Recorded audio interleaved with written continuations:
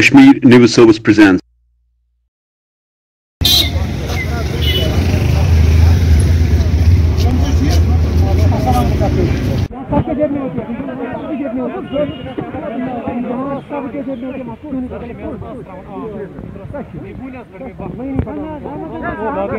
لہٰذا میں ہر قسم کی سہولیات فراہم کر رہے ہیں اور لہٰذا میں اویئر کر رہے ہیں کہ ماسک لگاؤ سوشل ڈسٹینس کرو گیدرنگ مت کرو اویئر اویئرنیس تو ہو رہی ہے اور ہاسپٹل میں اور کورونا ویکسین بھی آ گیا اس میں تو چالیس سال سے اوپر اوپر جو انہوں نے ویکسین دی ہے ابھی باقی تو ابھی باقی کرنا ہی ہے لیکن اس وقت جو ہے پہلے سے بہتر رہا ہے، کیونکہ پہلے اتنے ماسک ویئر استعمال نہیں کرتے تھے۔ لیکن اب ماسک بھی استعمال کر رہے ہیں اور سوشل ڈسٹینس بھی استعمال کر رہے ہیں۔ ہر روز چلتی رہے گی اویئرنیس جب تک لوگوں میں نہیں آئے گی، تب تک تو کرنا پڑے گا ہی۔